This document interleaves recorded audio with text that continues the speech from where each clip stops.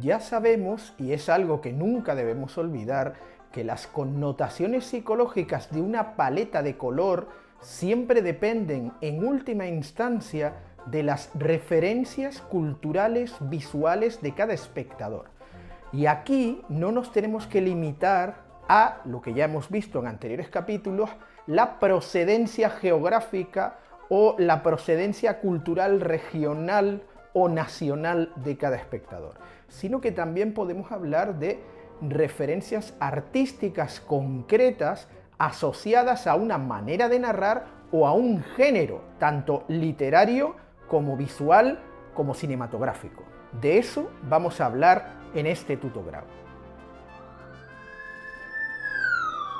De entre todas las referencias culturales visuales posibles, hay unas que evidentemente están más extendidas entre la mayoría de los espectadores que otras. La influencia de los dibujos animados en el cine es enorme, están asociados a una parte de nuestra educación visual muy importante que es la infancia. Pero si hay una referencia cultural específica que realmente gusta a niños y adultos de cualquier lugar y de cualquier generación, son los tutoriales de Tutograu. Así que vengas de donde vengas y tengas la edad que tengas, ya le puedes dar un like o suscribirte al canal. El ejemplo más clásico de la influencia de este estilo en las primeras películas de los Cohen es evidentemente Arizona Baby. Los protagonistas son un dibujo animado. No hay más que ver eh, la cantidad de color intenso, saturado, puro, plano completamente.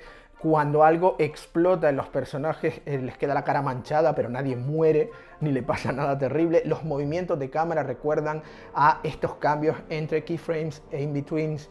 Todo está diseñado para que esa película sea literalmente un dibujo animado. Otro caso de enorme, gigantesca influencia en un género que está más relacionado con la pintura sería el de Remington.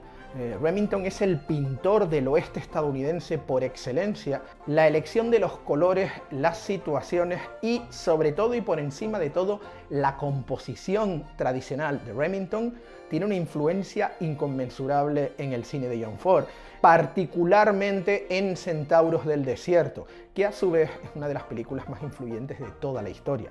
Con lo cual podemos trazar una línea que relaciona cualquier película de ese género con básicamente la pintura del propio Remington. En el siglo XX los pintores ya recibían la influencia del cine y viceversa.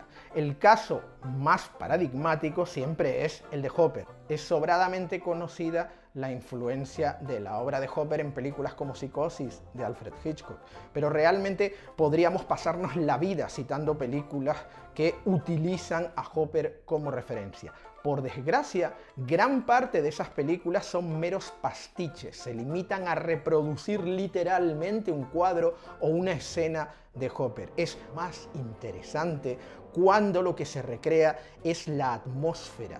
Hay pocos ejemplos excelentes como Camino a la Perdición. Es un ejemplo paradigmático, es un ejemplo de control absoluto de la atmósfera y de relación total con la referencia sin traicionar a la historia que a su vez ya era una novela gráfica con un aspecto visual muy marcado, aunque en este caso fuera en blanco y negro.